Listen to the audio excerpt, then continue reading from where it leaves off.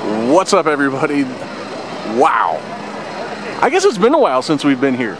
Um, we're checking out the all-new Jimmy Fallon Race Through New York, which is scheduled to open April 6th. And you can see, oh hell, let's just walk up and take a look. You can see what looks like the gift shop. And coming soon, yeah, it's coming soon, all right. Murals of Jimmy Fallon, the roots, the NBC symbol. And yeah, this looks like the gift shop that's going to be right here. You can see the stairs from the exit of the ride. I mean, you can see pretty much everything except for the ride. There is the sign Kind of want to jump up over. Not gonna jump up over. Kind of want to though. So yeah, it looks like they're putting the finishing touches on the sign with Jimmy's big smiling grinning face.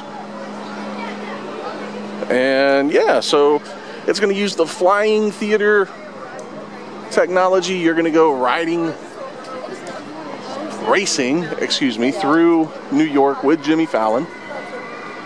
And really, I'm just kind of taken aback by how much progress has been made.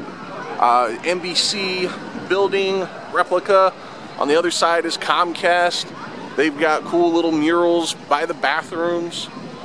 Uh, you can go, the queue is going to go through the um, archives of The Tonight Show. You're going to be able to see a whole bunch of stuff from the past Tonight shows from props to Jimmy Fallon's desk to Johnny Carson, I guess.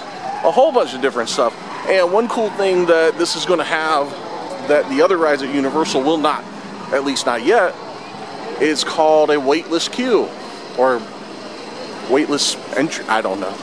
I don't know exactly what it's called, but you're not going to have a line to wait in. Instead, you're going to make a reservation, much like a fast pass. They're going to tell you to come back. You can go enjoy the rest of the park, and then you'll come back. Ooh. All right, we're gonna take a sneak peek over here. Again, more shots of the outside. Stage door. Okay, nothing there. Outline of New York. And of course, bathrooms. And it looks like they've redone everything.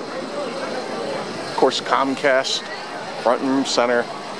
And yeah, so April 6th, I would imagine they're to start testing that um, lineless entry or lineless wait system very soon. They've already been testing it on other rides like Shrek and Pteranodon Flyers. So I would imagine that we're going to see some soft openings probably, I would imagine, like February. L. L. And really, a lot of people are complaining about Jimmy Fallon. In fact, this is going to be screens. I think this is going to be a sleeper hit.